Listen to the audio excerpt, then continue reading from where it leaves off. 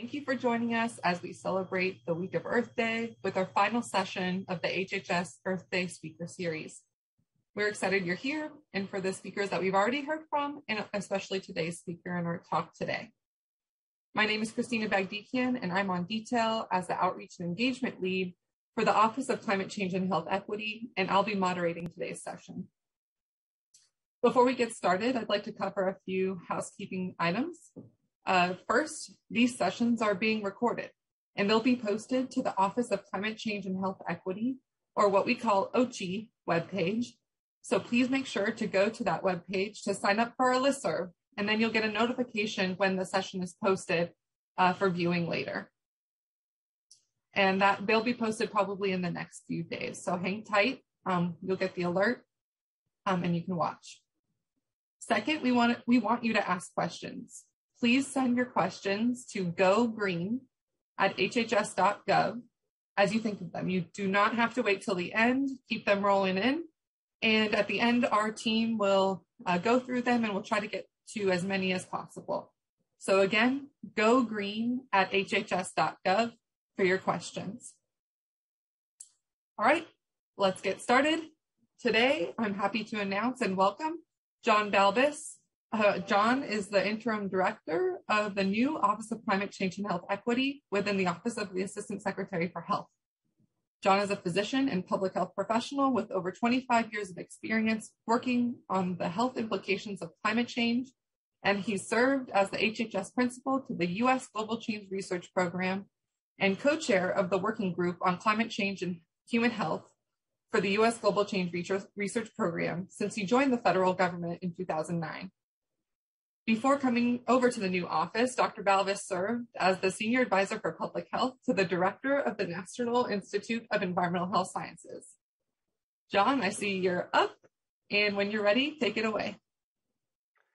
Great. Well, thank you so much, Christina, for, for that wonderful introduction and for helping to organize this Earth Day speaker series. It's really a, a humbling honor to, to be the third speaker today, and um, I'm very grateful to, to the Go Green Get Healthy program team within the Program Support Center and HHS Communications and the HHS Studio for being able to, to beam us live today. Uh, especially grateful to all of you who have joined to, to help us celebrate Earth Day by, by talking about the issues of climate change and health equity. And um, I'm very happy to, to share with you um, some thoughts about uh, and some information about how climate change impacts health and especially how it impacts our efforts to achieve health equity within the Department of Health and Human Services, uh, and what HHS is doing about it to try to, to, to mobilize and to make achieving health equity in the face of climate change a core part of the HHS mission. So um, I'm going to start with three themes. And I'll just advance here.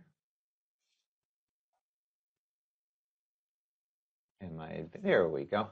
Um, these are three headlines that, that kind of illustrate three of the themes I, I want to emphasize today. The top left is a headline noting that 200 of the most important medical journals in the world got together, something they don't do very often at all, let alone for a topic like climate change, to highlight the, the, the threat to global public health that climate change poses and, and labeling it the greatest threat to public health of the 21st century.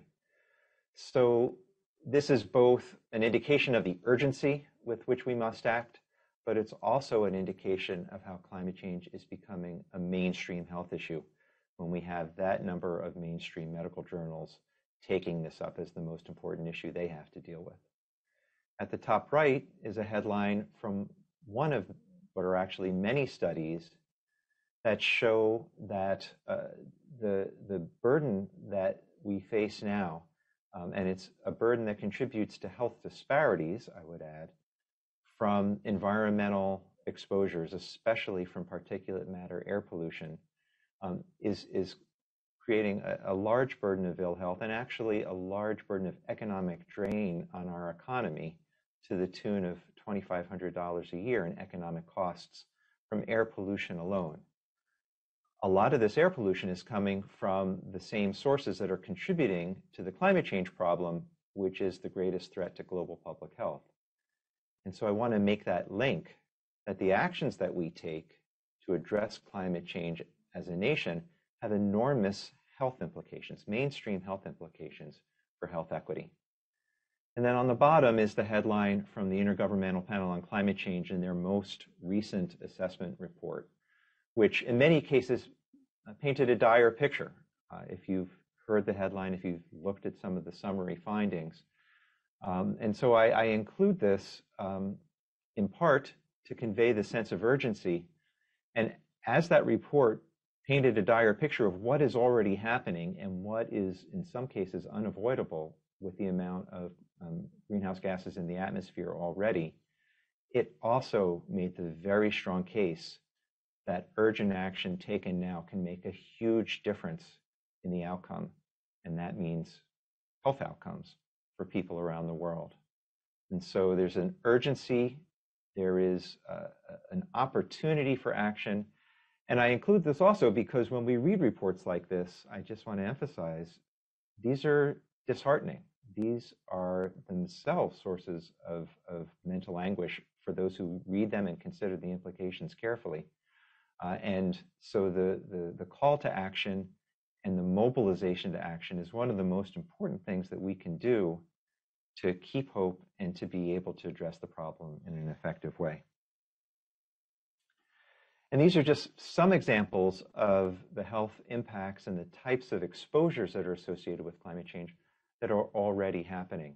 I know um, Tom DiLiberto yesterday in his wonderful presentation uh, talked about the heat dome event that happened last summer in the Northwest and just noted that, that this um, widespread record shattering heat was in many ways unprecedented and, and scientific studies have shown that it was entirely attributable to the amount of climate change that we're already experiencing.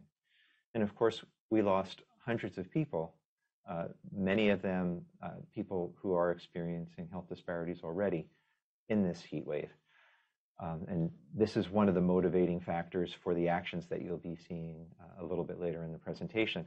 The slide on the right is, from a study uh, that NPR published that looked at the increase in wildfire smoke exposure. And most of you are familiar with, the increase in wildfires that we've had in the West in the past couple of years. What's most notable to me about this picture, we think about wildfires and we think about the, the mountains of California and, and Oregon, and, and, we think about to some extent the Rockies.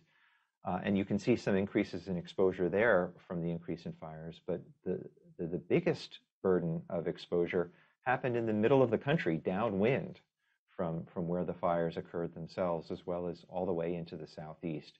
So it's a national issue. Everybody's affected. And we know that the things like wildfire smoke bumping up the levels of particulate matter in our in our air um, has enormous implications for health, not just because it worsens cardiovascular disease, not just because it worsens respiratory diseases like asthma, but as we saw, pollution, air pollution exposure was a huge cofactor in causing COVID-19 mortality. So, so the, the very same things that we are addressing as we are continuing to grapple with the COVID-19 pandemic are interlaced with the things that we have to be addressing now and in the future because of climate change.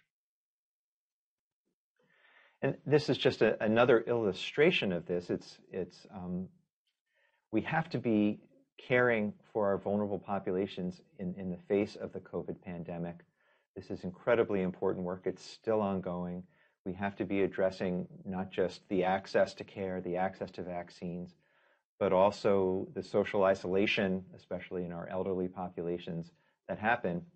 But what, what I'm showing with this picture is that we have to address this in a bigger context, recognizing that uh, climate-related weather disasters are going to interfere with our, our operations, interfere with access to care, interfere with people's mobility, interfere with the ability of senior centers and other um, facilities to stay open and so if we're going to be successful in caring for the next pandemic and just addressing, you know, the existing health problems that we face as a nation, we have to be looking to the, the resilience of our health systems to continue operations in the face of threats like this.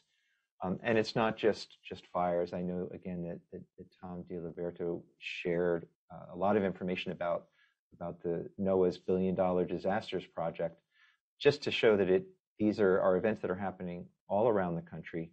Um, it's not just um, fires, it's also the hurricanes in the Gulf Coast that had a lot of disrupting effects on, on healthcare services and the severe storms. And even, as Tom pointed out, um, anomalous events like the, the, the uh, freeze that happened in Texas last year are related to, to the disruption of our climate systems. That the cold air that plunged from, from the, the poles down into Texas was plunging from the poles because there was warmer air displacing it. So this is a slide that many of you have seen, and um, I, am sharing it. It comes from colleagues at the at the Climate and Health Program at CDC. It remains one of one of the, the best graphic depictions of how climate change impacts health and what those health impacts are. And you know, the first thing you see, yes, it's colorful, but it's also got a lot of text on it around the outside, and that outer layer are all the different um, health manifestations of climate change. And you can see from that that outer ring that it it um, it, it, it comprises both short-term health impacts like injuries or heart attacks in the face of extreme heat or severe weather events or, or air pollution events. But it also contains some, some more slow moving and, and chronic kinds of processes like the changes that we've seen, and, and I think Tom showed a slide of this um, about the migration of Lyme disease northward as the, the tick vectors are able to survive winters that are warmer. Um, it's the changes we've seen in mosquito ecology and expansion of mosquito habitat um, up from the south of, of Aedes mosquitoes that carry diseases like West Nile and chikungunya. Um, so there's slow moving um, uh, impacts of climate change.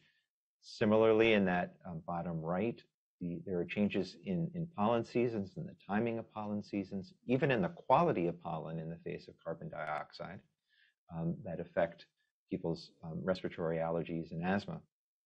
Uh, and then in the bottom left is a real important aspect that we have to think about as we think about health and human services, which is um, the slow and progressive changes in our ecosystems that actually address the fundamental supports of life. Things like the erosion of the coastal communities in Northwest Alaska or the melting of the permafrost, which are, are lead, which is leading to both problems with food storage, but, but even to transportation and injuries from sm- snowmobile accidents because there are holes forming in the permafrost. It deals with things like the loss of, of glacial ice uh, in, in a lot of the Pacific coastal areas where communities may be dependent on, on, on the snowpack.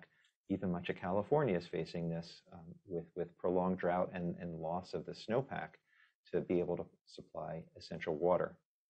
And then it also is related to the loss of low-lying coastal areas or low-lying islands. And this is something that's already happening. There's already displacement and forced migration because of inundation of low-lying areas and, and, and, um, and Pacific islands that creates tremendous um, stresses on the individuals, on the communities that are forced to relocate, and also on the health systems that are receiving them. So, again, a wide range of, of different kinds of health impacts that our health systems have to deal with.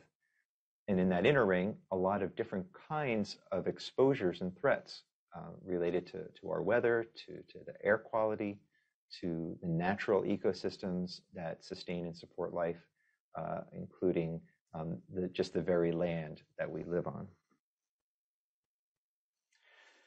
I want to take a moment and just um, go through uh, definitions. And I know that Tom and, and, and also Sangeeta Kadam, who, who, who, gave a wonderful presentation two days ago from NASA, talked about these same concepts. But I just want to make sure that I clarify for this audience what we mean by these terms because all of these terms have multiple meanings in different settings. And when, in, the, in the climate change world and in the climate change and health world, um, some of them have more specific meanings. So the first term is vulnerability, and I, I just want to say straight out, this is not about weakness. Uh, we use a definition of vulnerability as, as a state of being placed at higher risk of harm by higher and sometimes disproportionate exposure, by greater sensitivity given a certain amount of exposure, and or reduced ability to adapt or to escape from harm. So this is not a characteristic of the vulnerable community or, or population. It's often a characteristic of, of the, the context uh, in which they live, which is often a context of discrimination or injustice. The second term is mitigation, and mitigation means a lot of things. I think you heard um, from Tom that mitigation in a climate change context refers fairly specifically to the reduction of in, in risks from climate change by reducing the concentration of greenhouse gases in the atmosphere, either by emitting less or by removing them from the atmosphere. So we talk about risk mitigation. That's a different meaning. This is climate mitigation. It's about reducing greenhouse gases and reducing the threat of climate change. Um, adaptation uh, is a word that comes to us from, you know, from evolution. Uh, in this sense, we think of it in, as an adjustment in human or natural systems in response to a new or changing environment that can exploit beneficial opportunities or moderate negative consequences. And resilience is a, a very closely related term to adaptation in a climate context. Adaptation is that process of adjustment Resilience is more a characteristic of a system or an institution or a person or a community. Um, and it means the ability to anticipate or prepare for, respond to, and recover from threats with minimal damage to health, well-being, economy, and the environment. So I just want to make sure that we have common understanding of what those words mean when we use them. With that as definition, um, this is a, a, diagram that appeared first in the 2016 Climate and Health Assessment that we published with the Global Change Research Program. And it's an important diagram for an HHS Health and Human Service and Human Services um, audience because it, it talks about the interactions between the social determinants of health, which are in those light blue boxes in the left, and the elements that put people at higher risk, that put them in that vulnerability, that state of higher risk from climate change. So uh, in the climate change world, we divide that vulnerability into these three categories, exposure, sensitivity, given a certain amount of exposure, and adaptive capacity. And exposure is often a result of poverty and being for, um, having few options as to where you live or even experiencing homelessness um, the kind of occupation that you have that may put you uh, in an outdoor setting or otherwise exposed to climate change risks, and frank, uh, outright racial discrimination in terms of, of housing and uh, investment in, in neighborhoods. We'll talk about that in a little bit. In terms of sensitivity, that often has to do with having an underlying condition. Of course, we saw that with COVID, that people with obesity, with um, underlying cardiovascular respiratory disease had a greater risk it's exactly the same for climate change. When people are exposed to heat or disasters, if they have underlying um, uh, asthma, respiratory uh, disease, cardiovascular disease, kidney disease, also anxiety, depression, and other kinds of mental and behavioral health disorders, they're at greater risk of bad outcomes. And then lastly, uh, that area of adaptive capacity, the ability to protect yourself or escape harm is associated with many of the, the, the social determinants of health, uh, which are associated with poverty, housing, et cetera.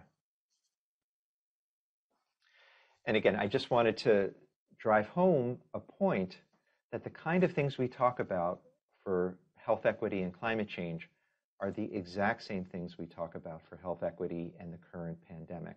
And this is just a graphic I borrowed from the Health Equity Initiative that talked about how bad outcomes and inequitable outcomes from COVID 19 are associated with upstream factors from discriminatory policies, limited access, the history of racism and social discrimination, poverty, overcrowded or poor quality living conditions, chronic stress, low health um, or climate and health literacy, and um, deliberate misinformation about climate change, just as there is with COVID, and general mistrust of government um, institutions. And I also just want to emphasize that when we talk about the health impacts of climate change, there is a growing recognition, and, and, and we need to be thinking about the, the, the, mental health implications, especially in the face of the epidemic we have of, of uh, mental behavioral substance abuse disorders in young people, young adults. And I, I, just want to credit the Surgeon General's office in their in their report on, on the determinants of, uh, of or the, uh, about the, the current mental health crisis uh, in young people. They, they pointed to the importance of environmental factors. Uh, they identified climate change very specifically, but also those social determinants of health that are related to the natural and built environment, like access to green space, like access to healthy food, like adequate housing, access to health care, you know, clean air, clean water, etc. Uh, and then, very importantly, put that in the context of the broader, society, broader upstream societal factors like discrimination, racism, migration, forced migration, uh, the, the, the, media and technology, et cetera, that, uh, but those, those first, uh, you know, the, the economics, the discrimination that are upstream drivers of the environmental factors. So just to, to, to show how this looks from a, a, visual standpoint in a real place, I just want to share a series of maps um, many of you have seen these maps that look at the, um, the, the, the uh, municipal area maps from the Homeowners Loan Corporation. These were created in the 1930s uh, as a way, in a partnership with the federal government, to um, provide a service at that time. Uh, I, you know, and I say service with with great uh, uh, qualification to the nation's financial institutions to grade neighborhoods on perceived financial risk um, so that the banks could have that information as they made decisions about loans and other kinds of investments. So they used a four color code green to blue to yellow to red for increasing levels of financial risk, green being the lowest, red being the highest. And for those of you who have seen this already, you know uh, the outcome. The green areas were disproportionately white areas, the red areas were disproportionately areas where people of color lived, African Americans, other immigrants, uh, people of Hispanic origin. Um, the important story here is, is that these decisions, these um, designations, these zones that were created of high, you know, perceived high risk, perceived low risk in the 1930s played out over the ensuing 80 years uh, to, to be huge determinants of people's health. And so the areas that are red have much higher proportions of everything from preterm births to asthma to mental health disorders uh, compared to the green areas.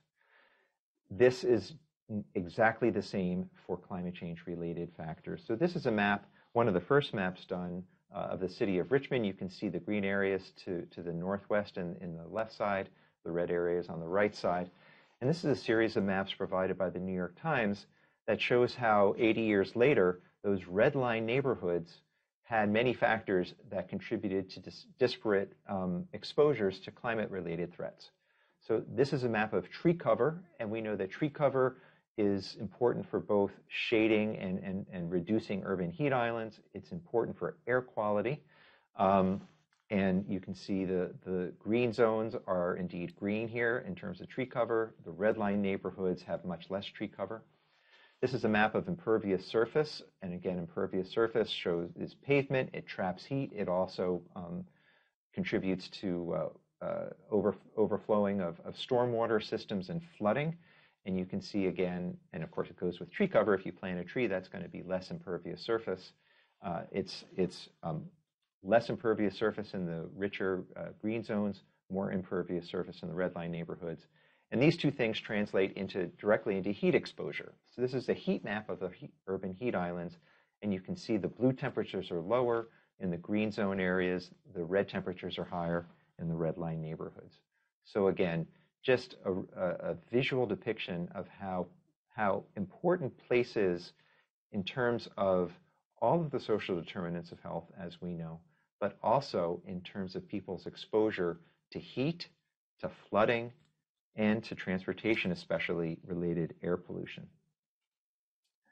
Um, it's not just those factors. This is a, red line map of the city of New Orleans showing um, on the left the, the red, li- redlined areas uh, in the downtown area, the French Quarter, a few green zones up in the northern area. And when Katrina struck, um, this is just one visual depiction of, of how um, labeling neighborhoods as being poor financial risks is uh, associated with areas that were at greatest vulnerability when the levees broke. And of course, there was devastating consequences for the people that lived there that are, are still ongoing 15 years later. Uh, it's not just um, heat and floods uh, that, that, that contribute to disparate exposures. These are, are pictures showing how climate-related threats, flooding from hurricanes uh, Florence and Superstorm Sandy, contributed to people's exposures to, to harmful chemicals, uh, on the left is a picture from North Carolina of you know one of the one of the homes of the environmental justice movement surrounding the the industrial agricultural facilities, and this is just showing how when the floods hit, those neighborhoods closest to those facilities become uh, inundated with with uh, water containing toxic runoff uh, from from from the, the sewage and the wastes of those industrial farms. And on the right is an image um, from northern New Jersey, but when, when Superstorm Sandy struck, many environmental justice neighborhoods were exposed to legacy uh, and recent chemical pollutants from industrial facilities that were located in the waterfronts, and the floods drove uh, water from you know, Superfund sites and, and ongoing industrial waste facilities uh, up into the neighborhoods. And then lastly, this is just the same concept showing that uh, air quality is also closely associated with this air, uh, historical redlining practice. This was a study done of 202 different areas from maps drawn in the 30s and 80, 80 years later, 75 years later, there's a linear correlation between the risk given of financial risk and the people's exposure to nitrogen oxides which is a, primarily a transportation-related air pollutant. So I hope I've made that case uh, abundantly clear. Um, and I want to come back. I, when I started, I said that, that this exposure to air pollution from fossil fuels is both an ongoing cause of health disparities that we have to be addressing, but also this incredible opportunity to link to climate mitigation and the reduction of greenhouse gas emissions that are also associated with emissions of particulate matter air pollution. That's just one of many different potential health benefits. This is a big, busy slide. I'm sorry, I keep looking for a really nice, clear graphic, but kind of like the kaleidoscope slide we started with, I think one point that can be taken from it is that there are many different types of health benefits from mental health less cardiovascular disease, respiratory disease, better nutrition, lower rates of obesity, lower rates of cancer. So a wide range of health benefits that come from a wide range of pathways, everything from reducing the burning of fossil fuels to the, the creation of bioswales and nature-based solutions to flooding, to heat islands that have all of these additional benefits for people's health. So um, in the last 10 minutes, I'm going to cover um, what's going on in HHS. It may be more like 15 minutes. Um, HHS has been working on climate change and health for many, many years. Um, my home institution, the National Institute of Environmental Health Sciences, uh, has, has been the designated uh, representative to the Global Change Research Program since the Global Change Research Act was, was written and passed in 1990. Uh, and so um, uh, before this year, a lot of that work, though, was, was um, in small parts of HHS. So we've had the CDC Climate and Health Program within the National Center for Environmental Health. Um, that has been really the sole um, congressionally appropriated program within HHS working on climate change and health uh, and has continued uh, in, a, very vital role supporting state and city health departments in um, in, in, vulnerability assessment and adaptation planning for climate change since 2000, I think 2009. Um, and other parts of CDC have, have been partnering, but, but not all of CDC, we'll put it that way. Um, the NIEHS Climate Change and Health Program uh, has both been um, the, funding the majority of grants within NIH on climate change and health for the past 15 years, but also um, doing other projects uh, in association with the Global Change Research Program, creating resources like the, the literature portal, et cetera. Uh, and again, parts of NIH have also funded um, grants that were primarily investigator initiated. But aside from the CDC and NIH, there really has been very little dedicated activity on climate change and health across HHS. There's always the emergency response to climate related disasters and the activities to um, protect health systems and populations in the face of weather disasters, um, but that's been done without a clear linkage to, to future modeling and, and the, the, kind of forward-looking lens that climate change gives to that. And in general, um, relatively limited investment in healthcare sector resilience and, and no investment at all in, in the climate mitigation side to, uh, to work on emissions reduction. So a lot of opportunity to, to, to, uh, to expand this and to, to make it mainstream in the HHS mission.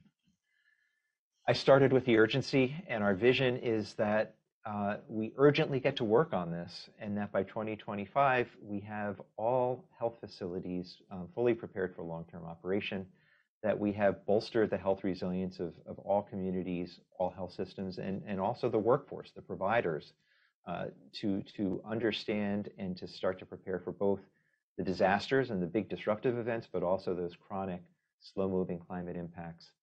And that lastly, the entire health sector in the United States, but especially the health systems, are publicly tracking greenhouse gas emissions and on a path to net zero by tackling, and this is climate change parlance, so there's three scopes of, of, of greenhouse gas emissions. Scope one is what comes directly out of this, the stacks of your facilities or the vented, the vents. Um, so for a health uh, facility, it would be their burner, or it might be the escape of anesthetic gases. For scope two, that's indirect uh, emissions associated with the energy supply. So um, hospitals, especially big tertiary hospitals, are big consumers of electricity, so scope two is important for them. But scope three is associated with the supply chain and all the other indirect emissions, like the emissions of patients from their cars as they drive to their appointments, et cetera, uh, the workforce driving to work. Um, Scope three is the, the bulk of the health sector emissions, and so um, we're working on all three of those scopes. So in that context comes, comes the new Office of Climate Change and Health Equity, which, which I've had the honor of helping to start up and direct. This is uh, a mandate from Executive Order 1408, tackling the climate crisis at home and abroad, and is one of three mandates given to HHS directly uh, in this executive order on climate change the other two being to start up an interagency working group to decrease health risks of climate change to vulnerable populations, and a biennial healthcare system readiness advisory council. Um, our office sits right here uh, in the org chart aside uh, wonderful sister um, offices, including the Office of Disease Prevention and Health Promotion, working on, on uh, a lot of social determinants of health, the Office of Minority Health, uh, a major home for health equity, population affairs, research integrity, women's health, uh, with all of the special um, issues related to maternal child health and, and, women's health associated with climate change. So we're um, in a great location within HHS.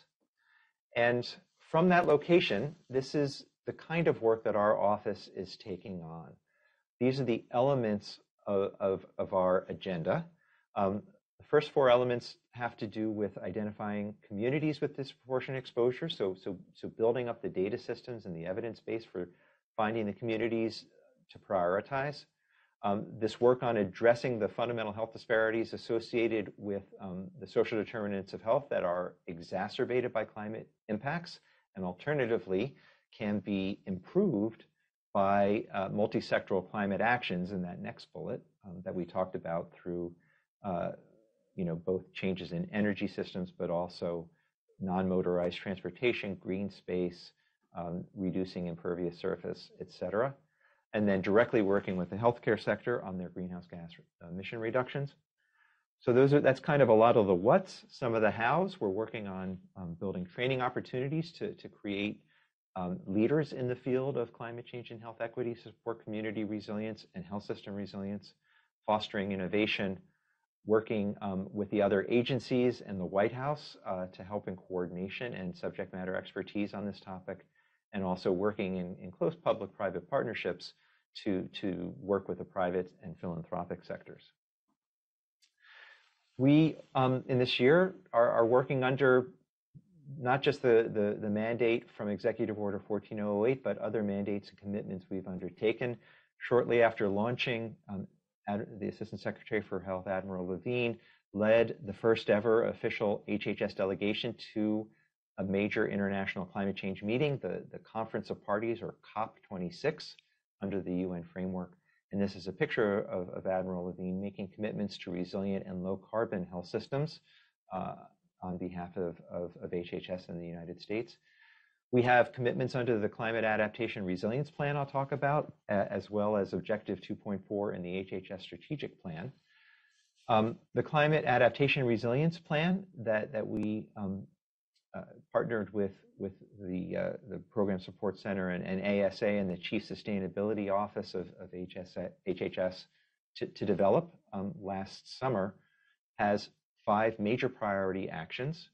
Um, the first being to, to build on that existing climate change work at CDC and NIH. Um, but the second is, is all the other divisions, and, and I highlight that because that's what our office has been focusing on um, since our, our establishment. We're also partnering to work on climate resilient grant policies, partnering with, with ASA, working on work, workplace optimization, space, transportation, tran, you know, transit management, and uh, sustainable and climate resilient operations at, at our facilities. And also very important, um, what our talk today is part of is, is the training and building HHS climate literacy. This is something that um, the administration emphasized in all the agency climate action plans, and, and our office is working on that. Um, I, am sharing a screenshot from the new HHS strategic plan. We, we have an explicit objective within the, general objective about protecting uh, the health of the American people in the face of, emerging threats and disasters, et cetera to mitigate the impacts of environmental factors, including climate change, on health outcomes. And, our office is, um, looking to play a, supportive and coordinating role, as well as a direct role in achieving this objective with the other divisions. So this is how we divide our work. Um, hopefully this, this is almost second nature now from the way I've been talking about things.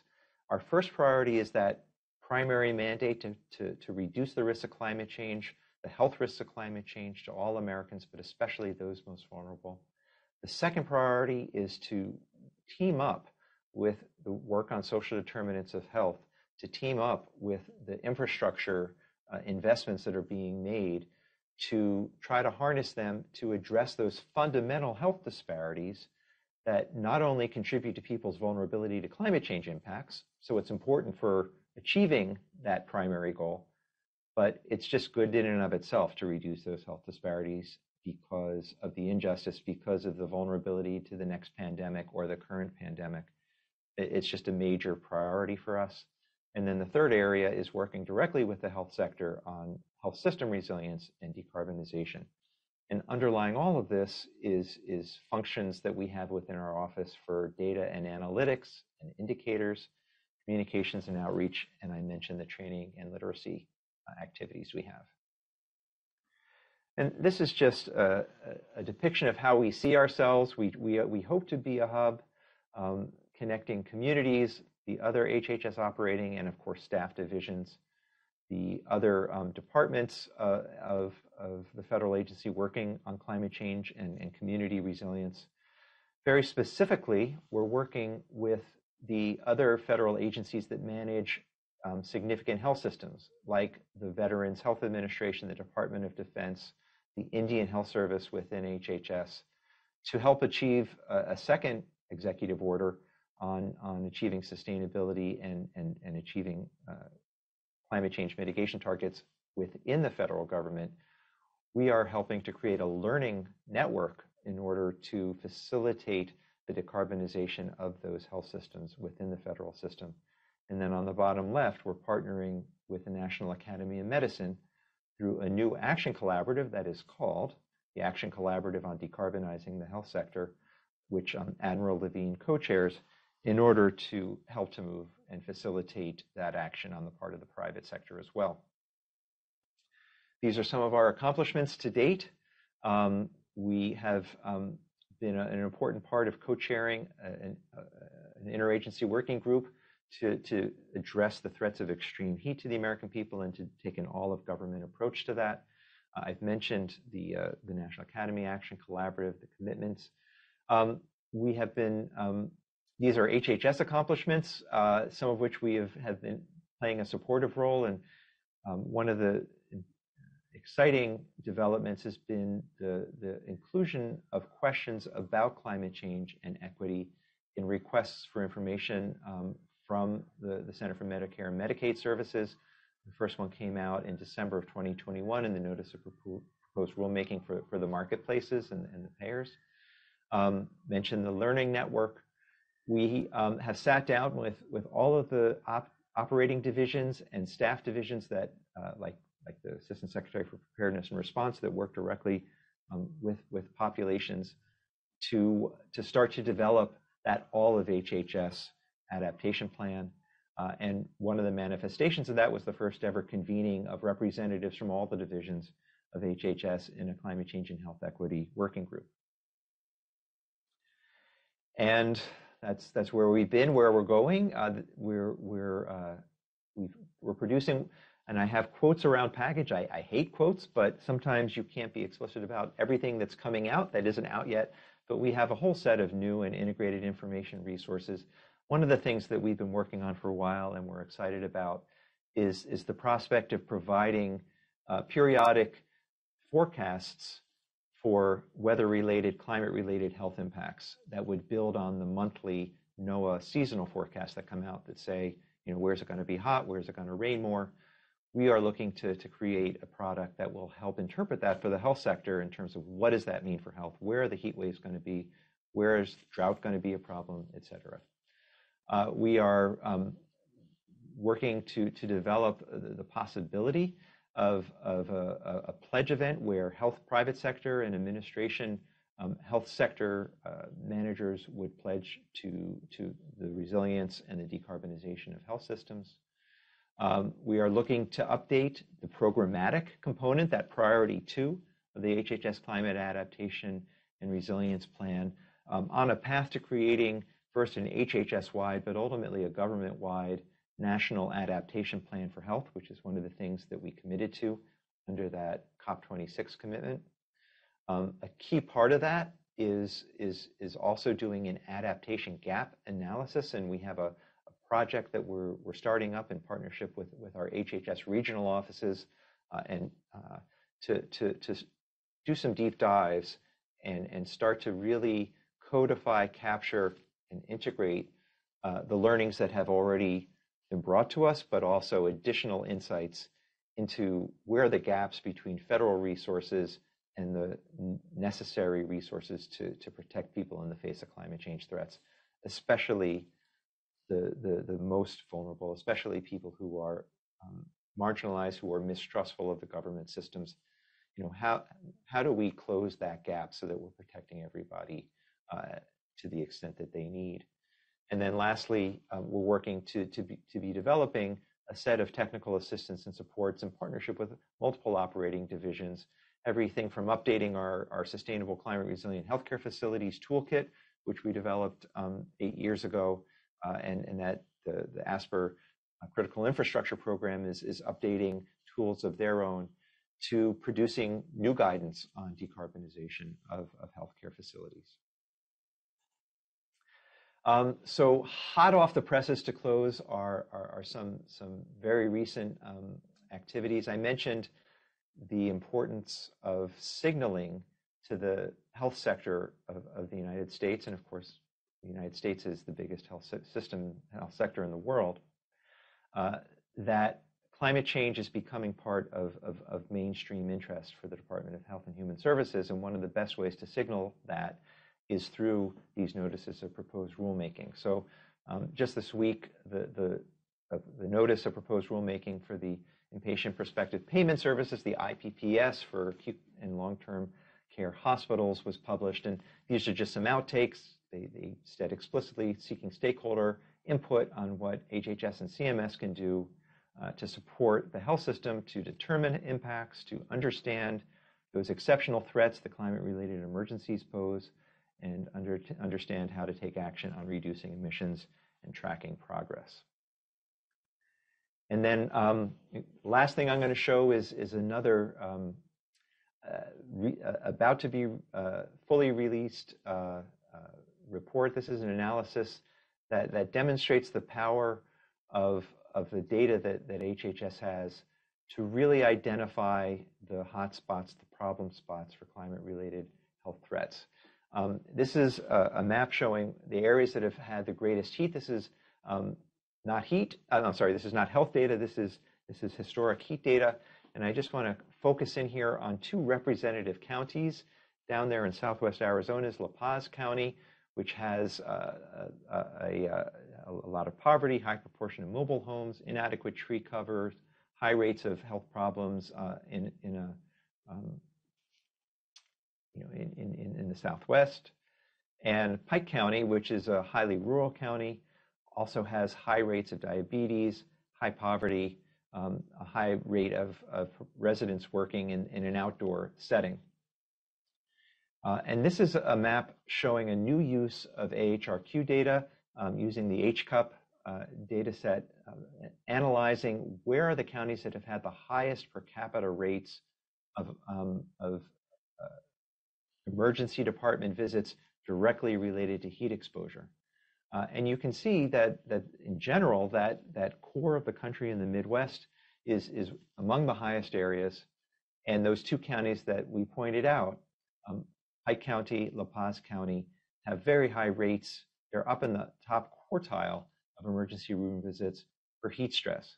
So for the health systems, for the health departments there, understanding both that this is a, a, a, a, recurrent problem and additional resources need to go into the prevention side, but what that prevention might look like. What are the characteristics of vulnerability? We talked about high rate of mobile homes in La Paz County. We talked about um, the high rate of outdoor workers in Pike County. Being able to combine these sources of information, the census data, the heat information, and the health data is one of the key ways that HHS can mainstream health resilience, even as we're looking at all those other ways to reduce those health disparities in those counties. So uh, in closing, I, I hope I've uh, been able to convince you that climate change is a mainstream issue for HHS because it compounds and it interacts with all of the social determinants of health, with all the existing stressors that we are addressing so assiduously so determinedly to reduce health disparities and to achieve health equity.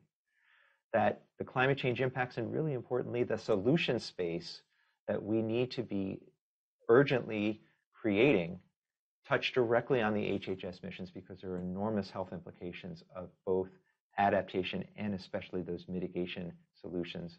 And that HHS has opportunities all across the divisions throughout the human services, throughout the health services to be a major contributor. So with that, I'll close. I have talked through some of the time I hope to save for questions, but I look forward to, to hearing um, the questions now and um, at this email address if anybody wants to send them afterwards.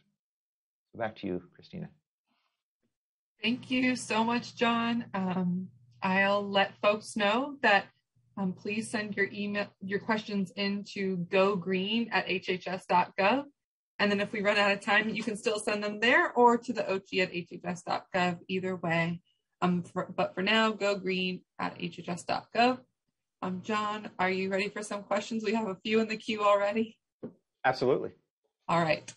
Um, the first question is How is HHS working with other agencies to address the climate crisis?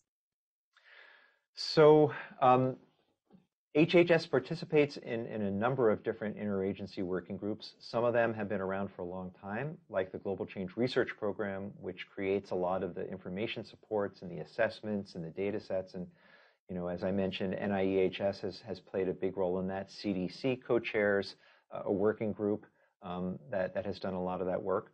But then there's also the new interagency working groups, like the HEAT interagency working group that we've just stood up. You know, I, I guess what I'd say right now um, our office um, the, the dedicated staff on climate and health in NIH and CDC, and an increasing number of staff across the divisions are just engaging through the White House, through, uh, through these interagency working groups uh, to, to, to, to bring health um, you know, to, to those discussions. Um, I'll just say, all, we need more help. It's a big battle. It happens all the time. The climate change world recognizes that health is really important, but it's hard for them sometimes to recognize exactly how health professionals, health systems, human services can be part of their solutions. So um, it's an important area, and happy for the question and, and happy to have more discussion of that. Thanks, John. It's a big question, um, but HHS is a key player in making sure health is protected from climate change. Thank you. Um, another question we got is uh, you mentioned that HHS has invested a lot in addressing climate, uh, addressing disasters after they happen, but not necessarily in preventing or mitigating disasters before they happen. Does HHS have the power on its own to reduce GHG emissions on a scale that can reduce climate change? If so, how? Okay, so I'm hearing two questions in there, and they're both really important.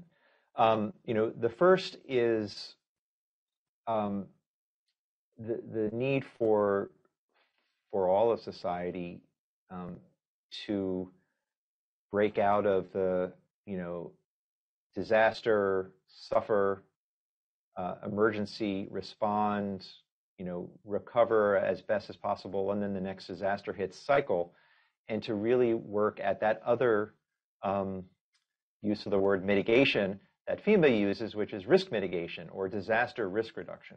So, um, you know, HHS doesn't have the lead on this. FEMA actually has, uh, you know, major investments through their BRIC program uh, a lot of the other agencies are starting to invest more and more and more in resilience and disaster risk reduction. So that's a huge paradigm shift that we need to bring where we, you know, embed our, our, our, our disaster response into a bigger picture of climate change adaptation because we know that a lot of the the amount of energy in the natural system is growing because of the trapping of heat. And so all of these disasters are getting, uh, you know, you know, whether it's the amount of rainfall, the wind speed uh, of tornadoes, all of these things are getting more intense. We need to be thinking ahead for those. The second question there, um, Christina, was Does HHS have the ability to solve uh, the climate crisis all by itself? And the answer there is, of course, no. But very importantly, the health sector is a major contributor to the US, especially greenhouse gas um, uh, uh, pro, you know, uh, profile. It's estimated that the health sector is about 8.5% of the nation's total. That's about twice the size of the average global um, con- contribution of a health system. So I think that HHS and, and the US health system has a very important role to play. Part of it is symbolic. Um, HH, uh, health professionals are trusted messengers, as Tom D'Alberto said yesterday. Health professionals have been slow to the game to start saying that they think that it's an important thing for them to do. So just getting hospitals on board is important symbolically, but it's also important quantitatively because we are that you know nearly 10% of the entire greenhouse gas profile for the country. Thank you, John. That was a, that was a good question, and um, I'm impressed you remember the two part the two parts of it.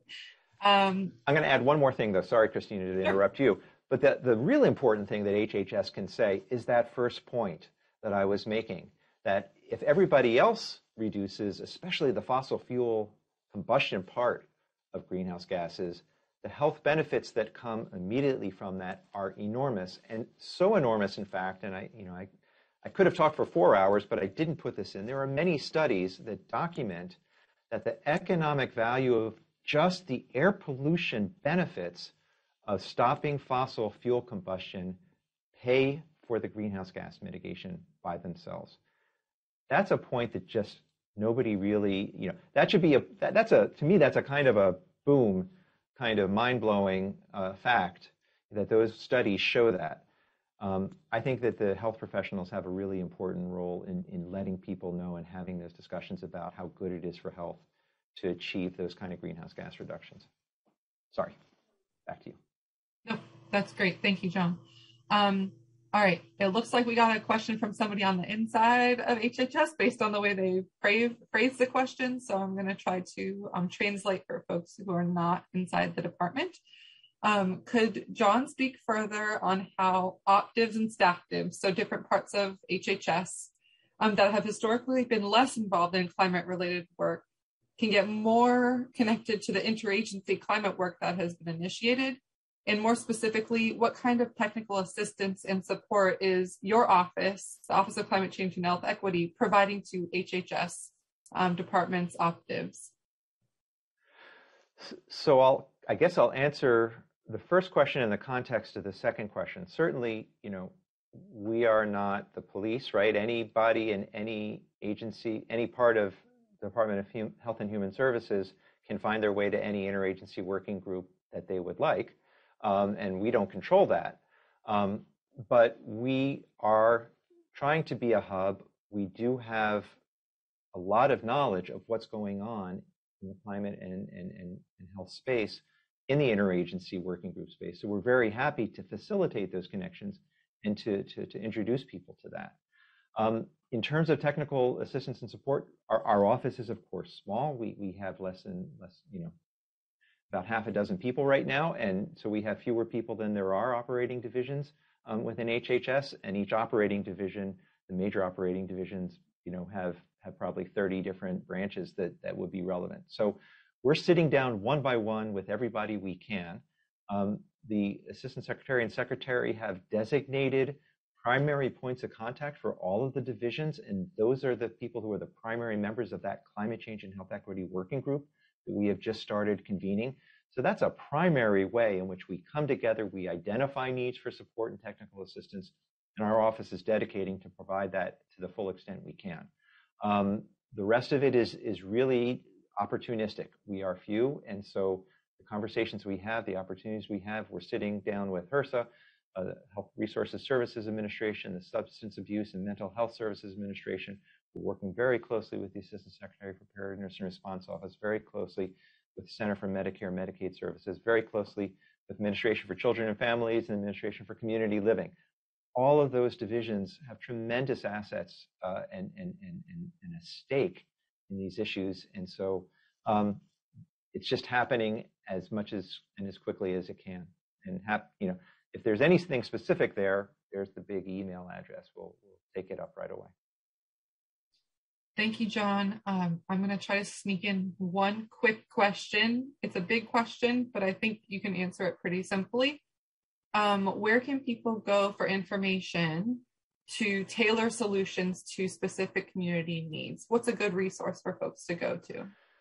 Well, that I wish it was that easy a question, and and I think you know I that it's it is it's not possible to answer that in in, in the 30 seconds. Um, I would say first of all, keep an eye on our website. We are putting together resources that that integrate that kind of information.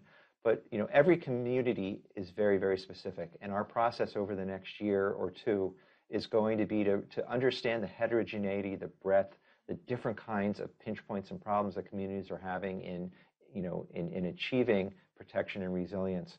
Uh, and we hope to build out better and better resources. There's a lot of activity in this space. There is not an easy one-stop shop, but happy to entertain questions and to point people to specific kinds of resources. Thank you, John. That was a hard one to end on. Um, I'll, I'll, say one thing. There is the, the, the, the uh, Climate Resilience Toolkit. Uh, and I don't, have toolkit.gov, toolkit.climate.gov, I think is the URL. That, that is a good starting place.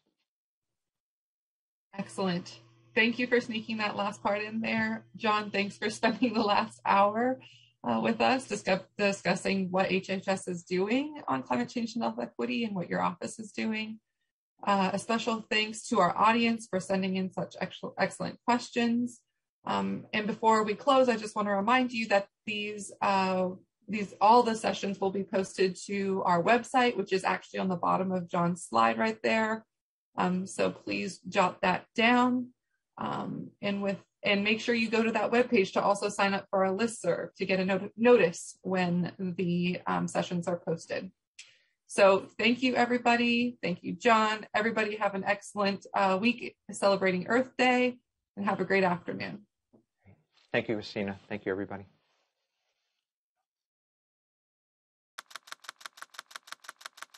Produced by the U.S. Department of Health and Human Services.